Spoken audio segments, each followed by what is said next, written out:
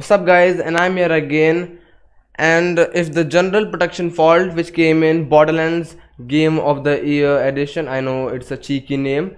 So it's coming again and again even after the video that I made about how to solve it because I know some more solutions to solve the error. Now first of all right click on a game and click on open file location. Now you can click on Borderlands game of the year edition right here a folder named common redist click on it. And uh, if it's not common redist then it can be a folder named prerequisites.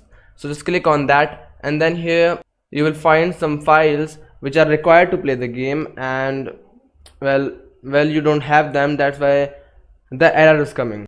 Now click on this. First of all we'll download DirectX and now here is a file named dxsetup.exe it is the application you can run this. The setup will run click on I accept the agreements click on next. When the installation is finished then click on finish. So after that you need to go to the .NET folder. Now here you can uh, click on the .NET uh, FX40 whatever. You can click on it and download the .NET framework whichever it needs and then it will be downloaded. And you obviously have to download the .NET framework click on vecredist click on 2013 and then just run both of them. You'll see that whichever your system requires it will download it. Now click on 2015 and then uh, run these two files and then they will be installed too. After this you can run the game and uh, see if that works for you. And if it works then enjoy the gameplay and you don't need to see the rest of the video.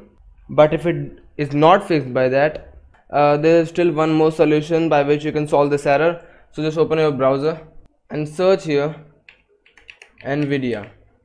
Now after reaching on this page which is pretty awesome because it is of nvidia's now go to drivers and click on all nvidia drivers. After that you will reach on this page. Now here you will have to scroll down and then you will see your option here. Nvidia PhysX system software click on this option. Now after that you have to click on download now and it is not a cheap website it is an authenticated website. So it stays tension free it is not a fake button just click on it. After that you reach on this page now again click on this download button and after that well hopefully your download will start. Now download the file. So after it is downloaded just go to the setup in the downloads folder I already have installed it. So you can just uh, do what it says. Click on install and stuff and then click on finish. And after this your game should be working. Now if this video helped you then please like the video and subscribe the channel to support us. And thanks for watching guys